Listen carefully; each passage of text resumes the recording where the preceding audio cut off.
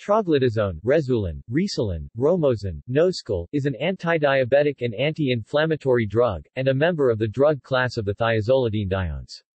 It was prescribed for patients with diabetes mellitus type 2. It was developed by Daiichi Sankyo, Japan. In the United States, it was introduced and manufactured by Parke-Davis in the late 1990s, but turned out to be associated with an idiosyncratic reaction leading to drug-induced hepatitis. The FDA medical officer assigned to evaluate troglitazone, John Gueriguian, did not recommend its approval due to potential high liver toxicity. Parke-Davis complained to the FDA and Gueriguian was subsequently removed from his post. A full panel of experts approved it in January 1997. Once the prevalence of adverse liver effects became known, troglitazone was withdrawn from the British market in December 1997, from the United States market in 2000, and from the Japanese market soon afterwards. It did not get approval in the rest of Europe. Mechanism of action Troglitazone, like the other thiazolidinediones, pioglitazone and rosiglitazone, works by activating peroxisome proliferator activated receptors PPARs. Troglitazone is a ligand to both PPAR alpha and, more strongly, PPAR gamma. Troglitazone also contains an alpha-tocopheroyl moiety, potentially giving it vitamin E-like activity in addition to its PPAR activation. It has been shown to reduce inflammation. Troglitazone use was associated with a decrease of nuclear factor kappa B, NF kappa B, and a concomitant increase in its inhibitor, I kappa B. NF kappa B is an important cellular transcription regulator for the immune response. History Troglitazone was developed as the first anti-diabetic drug having a mechanism of action involving the enhancement of insulin sensitivity. At the time it was widely believed that such drugs, by addressing the primary metabolic defect associated with type 2 diabetes, would have numerous benefits including avoiding the risk of hypoglycemia associated with insulin and earlier oral anti-diabetic drugs.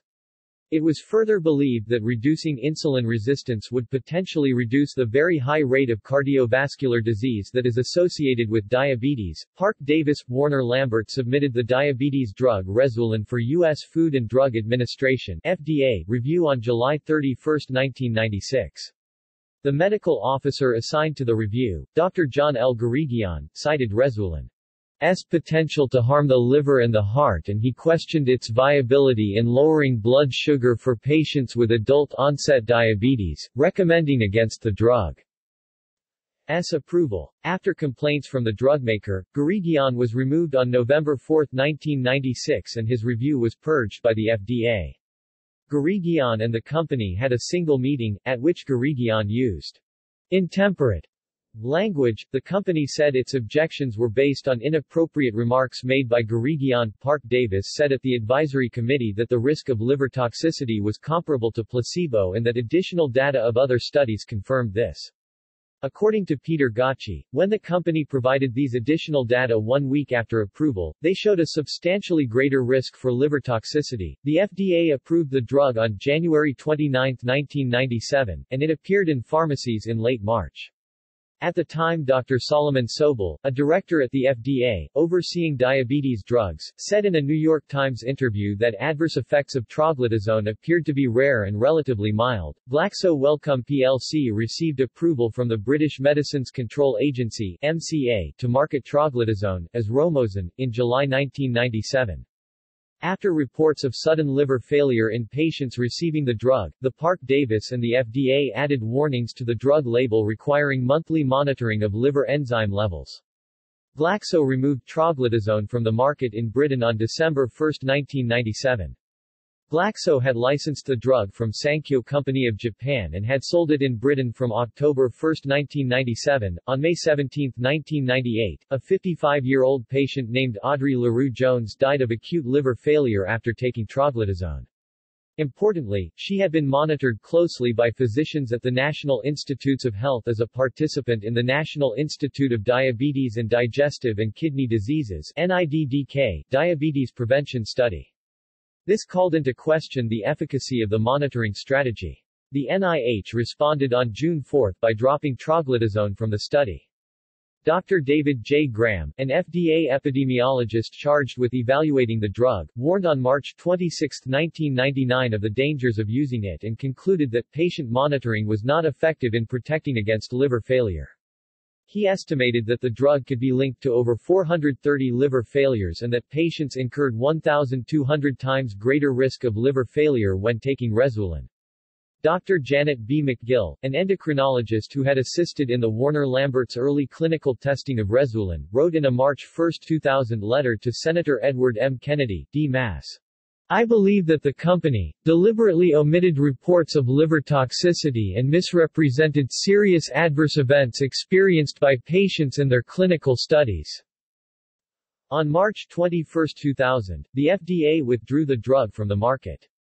Dr. Robert I Misbin, an FDA medical officer, wrote in a July 3, 2000 letter to the House Energy and Commerce Committee of strong evidence that Rezulin could not be used safely, after having been threatened by the FDA with dismissal in March 2000. By that time the drug had been linked to 63 liver failure deaths and had generated sales of more than $2.1 billion for Warner Lambert. The drug cost $1,400 a year per patient in 1998. Pfizer, which had acquired Warner Lambert in February 2000, reported the withdrawal of Rezulin cost $136 million. Mechanisms of hepatotoxicity Since the withdrawal in 2000, mechanisms of troglitazone hepatotoxicity have been extensively studied using a variety of in vivo, in vitro and computational methods. These studies have suggested that hepatotoxicity of troglitazone results from a combination of non-metabolic and metabolic factors. The non-metabolic toxicity is a complex function of drug-protein interactions in the liver and biliary system. Initially the metabolic toxicity was largely associated with reactive metabolite formation from the thiazolidine thiazolidinedione and chromane rings of troglitazone. Moreover, the formation of quinone and O-quinone methide reactive metabolites were proposed to be formed by metabolic oxidation of the O group of the chromane ring. Detailed quantum chemical analysis of the metabolic pathways for troglitazone has shown that quinone reactive metabolite is generated by oxidation of the O group, but O-quinone methide reactive metabolite is formed by the oxidation of the methyl CH3 groups ortho to the O group of the chromane ring. This understanding has been recently used in the design of novel troglitazone derivatives with antiproliferative activity in breast cancer cell lines. Lawsuits in 2009 Pfizer Inc. resolved all but three of 35,000 claims over its withdrawn diabetes drug Rezulin for a total of about $750 million. Pfizer, which acquired rival Wyeth for almost $64 billion, paid about $500 million to settle Rezulin cases consolidated in federal court in New York, according to court filings. The company also paid as much as $250 million to resolve state court suits.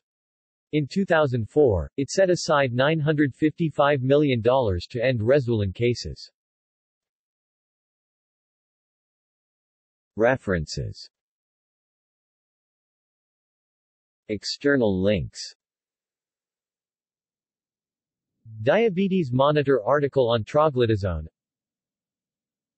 RX list article on troglitazone